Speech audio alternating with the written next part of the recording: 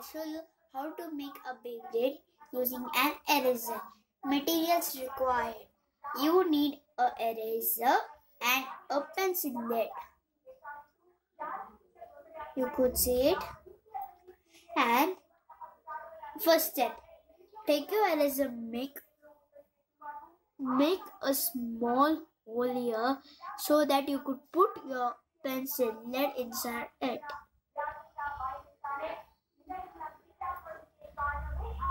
It is a wish putting the sharp edge or putting the blunted edge on the on the floor. I have put the sharp edge inside and put the blunt edge outside.